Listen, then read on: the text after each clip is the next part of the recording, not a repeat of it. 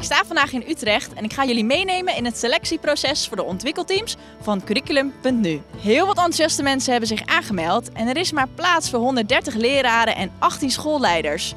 Het wordt een hele spannende middag. Ik ben heel benieuwd. Ga je mee? Dames, jullie hebben de hele dag iedereen mogen interviewen. Hoe was dat? Het is hartstikke inspirerend om zoveel verschillende mensen die echt een enorme visie op onderwijs hebben en dat ook willen uitdragen om die hun verhaal te horen doen. Jullie zijn net op gesprek geweest.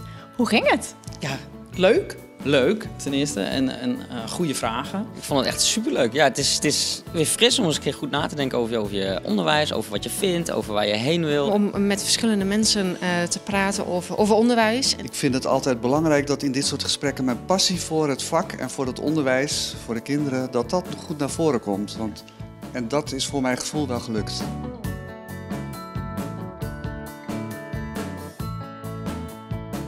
Ja, wij kijken naar twee verschillende competenties. De eerste competentie is schoolontwikkeling. Dus wat heeft de kandidaat gedaan op zijn of haar school? Hoe heeft hij of zij bijgedragen aan de professionalisering van medeleerkrachten?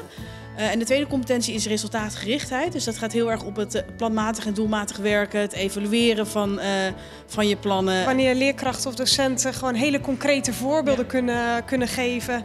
En daarmee denk je van ja, dit is hem. Ja, die inspireren je dus zelf ook heel erg. Wat ik eigenlijk probeer is de samenhang te vinden en te zoeken in, in allerlei vakken. Dus niet alleen het vak Nederlands en daar allerlei verbindingen te maken, maar ook uh, verbinding met een vak als biologie of een profielvak. We moeten blijven vernieuwen en nu is natuurlijk heel die discussie met de werkdruk aan de gang en dan, dan wordt, ligt het nu vooral de focus daarop. Uh, terwijl voor mij de focus veel meer kan liggen op wat willen we nu met de kinderen en um, hoe gaan we dat doen. En daar is het curriculum een heel belangrijk onderdeel in, denk ik. Kunnen jullie misschien al een tipje van de sluier lichten? Uh, nee, ja, behalve dat het helemaal goed komt. Maar voor de rest uh, mogen we helaas niks zeggen.